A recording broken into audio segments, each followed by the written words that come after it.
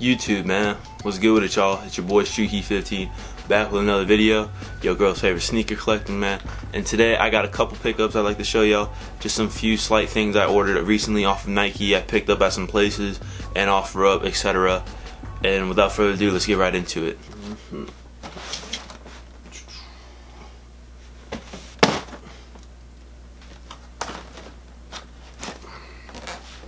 So right here, we have all the pickups that I've recently gotten. You can't see it all just because the lens won't be able to show all of it. But as you can see, I got this dad cap right here. And I got one, two, three, and four shoes.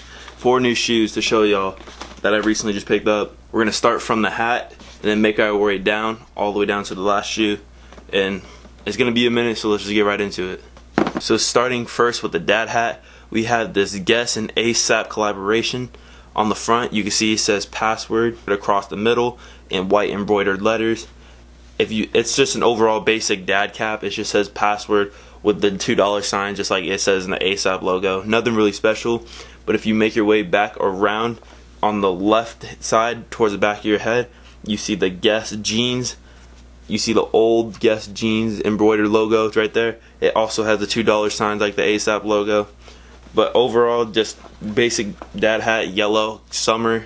Can't go wrong with yellow in the summer, summer color. Uh, can go with mostly anything. This will set off your outfit completely. So, and if you want anyone like to look at your head or anything, just wear this and you'll definitely get the attention. But overall, yellow is an underrated color, so you can throw this on with a white t-shirt and keep it moving. You'll be looking fine. But overall, that's the first pickup, the ASAP Guess Collab Dad Hat. My next pickup is the Cement 3s from 2010. I saw these off of AZ Threads Instagram for a hundred bucks. I, I couldn't pass it up. I've always wanted a pair of these shoes. The most problem with threes is the cracking along the midsole right here with the paint chipping. Mine has a little bit, but for a hundred bucks, I really couldn't pass it. Touched up with a little bit of paint. But besides that, there's really no problems. You see it's all over good. There's no ripping the elephant print in the forefoot or the heels not really messed up. Uh, overall, for a seven-year-old sneaker, great condition. Can't complain at all. Uh, I already worn mine, so there's a little bit of creasing here in the toe, but one of my best sneakers in my collection already. Uh, if you can, make sure to follow AZ Thread on Instagram. They always be posting good shoes for good prices.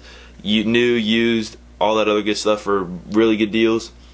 Uh, yeah, man, just cement threes. 2010 release, 100 bucks. Couldn't pass it up. My next pickup just came in the mail actually two days ago, and it's the Motorsport 4s. I know what y'all thinking, like, why'd you get the shoe? It's a GR. It's still sitting everywhere, here, there, blah, blah, blah. But I actually got this on that Nike flash sale that if you followed the Instagram accounts or Twitter accounts that I told y'all follow my one video, you would have known that you could have got these for $113 compared to 190 Yes, 113 compared to 190. You could have got this shoe like I did. Saved me a lot of money. I couldn't pass it up for 113. Uh, they're probably going to go on sale even lower than that here in the future, but I just wanted to snag my pair just in case. Uh, I recently wore the I wore these already. Uh, I wore them with my alternate 89s, just the red version of these pretty much, and I wore one and the other because I it's just like that, just like the top threes but it's just the top fours, I guess. You already know the shoe. I'm sure if you've gone to the mall, you've seen it, but I'll just run it over just a little bit. You got your white leather all around the shoe. You got your white netting here with a black background. You got your hints of blue towards around the midsole. On the back, it's not Nike. It's not uh, Nike Air. It's just the regular Jumpman. Same with on the uh, tongue right here. Just run through the forefoot. You have your white net. On the inside, you have your white Jumpman. Just your basic, or blue jump man sorry, your basic blue jump man black heel tab. Uh, if I were to rate these quality-wise, scale 1 to 10, I'd give it a 7. Uh, the leather quality is not that good. Uh, I would only if they if they tumbled it, I would give it a 9. And the 10 would be the Nike Air on the back. But if it was tumbled leather, that'd be that would have been a lot better. But I really can't complain. $113, I could not pass these up. And yeah, Motorsport 4 is my second pickup. Or my third pickup. Alright, so my next pickup is this shoe right here, and these are the Air Jordan 12s in the playoff colorway. Uh, just a basic black and white shoe that I could use just to keep it moving, you know, put it on with anything and just walk out the house. Uh, on the side you have like your stingray pattern type deal and up here you have your tumbled leather all through the forefoot or all through the side of the foot, and the same thing's pretty much replicated on the side. You have your black, you have your gray side panel right here. Back on the other side, it says Air Jordan right here. You have your red Jumpman on the tongue, and if you flip it over, on you have the heel pull tab. That's a, that has the Jordan logo right here, and it says Jordan, and it says quality inspired by the greatest player ever, which is false because it's LeBron James, but that's just my opinion. And right here, you have the number 23 embroidered in the back of the heel. Uh, overall, good shoe, great quality for back when it released. It released about, I would say, seven years ago. I'm not sure, but just overall good black and white shoe. Uh, my what pickup is this? My one, two, three, four. My fourth pickup, the Air Jordan 12 playoff. Last but not least, my favorite pickup out of all the pickups that I've gotten. I wanted this shoe since I first saw the release pictures from Nike. I thought the leather quality was great. I didn't have the shoe in my collection, not this model, and I was like, yo, I gotta get this. Saw the quality, it was amazing, impeccable.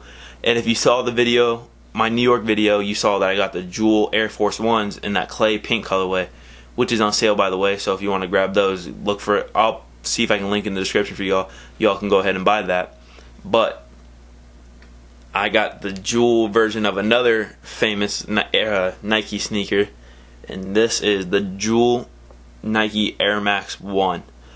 As you can see, just your your ruby red Jewel swoosh. It's smaller than most Nike Air Max silhouettes.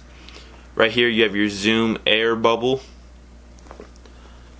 All through the side is just a smooth, ridiculously great great condition leather. You have your Nike Air Max right here on the tongue, and if you move right here, you have Nike Air on the back. Look, look, you could just see, I don't know if you can see it. Let me turn this brightness down. You could just see the leather just, like, just look how good that leather is. Sorry for the scuff mark. I did wear these already because, you know, your boys got excited. But, yeah, man, that's just Nike Air Max 90, or Nike Air Max 1, I should say. Just the jewel, the ruby red jewel Nike Air Max 1. My favorite. Thank y'all for watching the video. I hope you enjoyed my five pickups. I believe it's five. Whatever. We're just gonna go five. My five recent pickups that I got. Uh, make sure to like, comment, and subscribe. Share with your mama, your daddy, your brother, your sister, your girlfriend, your Uncle T, everybody in your family. Besides that, this has been your boy ShoeHeat15, man, your girl's favorite sneaker collector, bro. I'm out. Peace.